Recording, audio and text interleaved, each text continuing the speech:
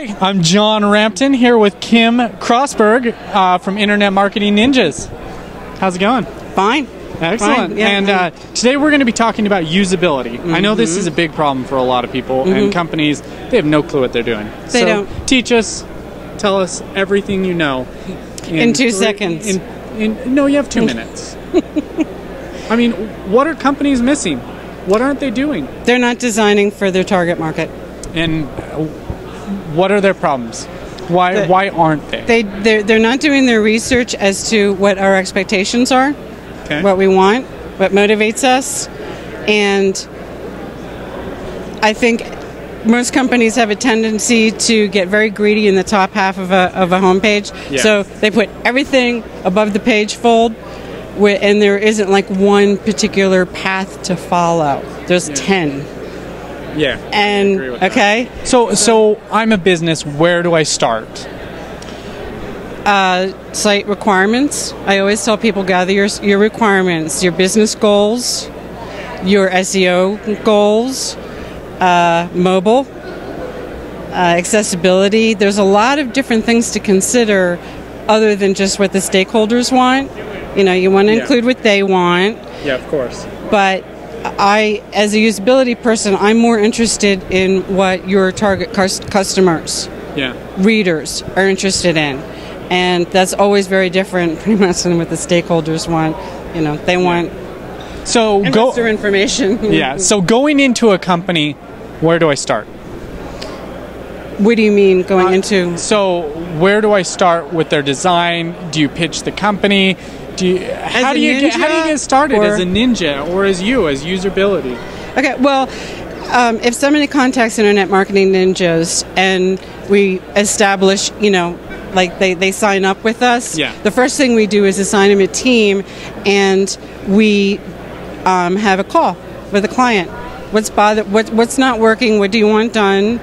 Uh, most people come in looking for rescue. You know, Yeah. panda, penguin, all of that stuff. I got hurt. I need help. yeah, help. And while we have their attention, we can usually discover, like I look at the website and say, oh, by the way, Mm-hmm. there's also some conversion problems with your website. So while you're healing, Yeah. you know, let's also work on your website design to make it more persuasive. Because if you're going to invest all that money, Yep. You want to Why not sure- do it right? Right. Yeah. You know, let's fix the problems, and we there's a couple things we can do. Like I can give actionable advice that they can use right away for like quick band aid help, and they they will get results right away from Yeah. that.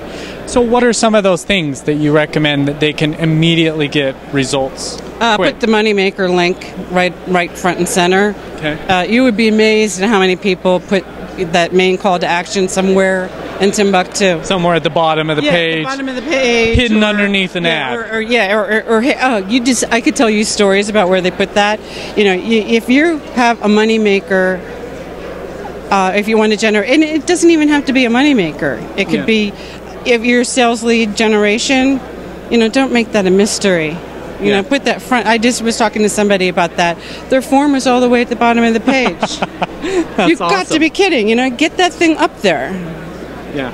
So. Now, when you're putting buttons on pages, is there a specific button look or feel that resonates better? I do not like flat design, which is like the, the new fad, Yeah. because as humans, we love to push buttons. Yes. We, we you know, we're video gamer people. We want. So I. What, what was that one more time? So yeah, push buttons. Uh, we want to. I always say bevel the button, and Yeah. make it a big juicy button with contrasting colors, and a really good link label, so that people know where you're taking them. I hate mystery links Yeah. and a lot of uh, links, and including buttons, they're not descriptive enough, so they're not clicked on because nobody knows where you're taking them. Yeah. So there, there's a lot of different pieces to the puzzle, and it's all logical. Yeah. You know, like people say, "Can you look at my website?" And I say, "And tell me what's wrong with it." No, I can't. I need to take it for a test drive. Yeah. You I know, need to that- go in there. I you don't want to just I need to drive it for a while. get a bike and just go buy the first bike. Right, and Take it for a test drive. Exactly. And and it, that and if they really will let me play, I'll try to blow it up.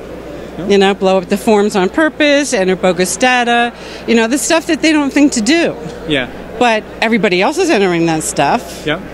And getting errors, and you know, you get false information. You don't want that false information. Yeah. And you don't want to pay for that false information because you are. Right. So there's there's a lot of stuff that you know, like we look at, and sometimes they need a full redesign. Sometimes they just need a little, you know, a couple things. But most of the time, we need to spend some time. Yeah.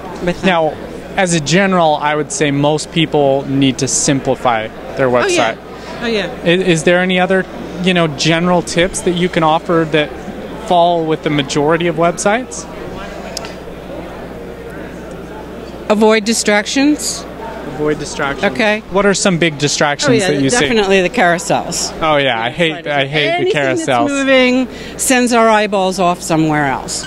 And if you've got really important content Yeah. right there, and you've got moving images, forget it. Most users will jump right over that Yeah. because they're looking for something that they really need.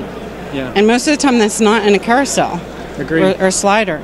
So, you know, kill those things or make a manual so that people can take their time and look and put a big juicy button on that thing and not a lot of content.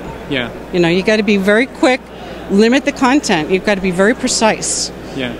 Uh, the, anyway, I can go on and on and on. Yeah, yeah. Mhm. Well, thank you very much for your time. Again, you. John Rampton here with Kim. Thanks Thanks. a lot.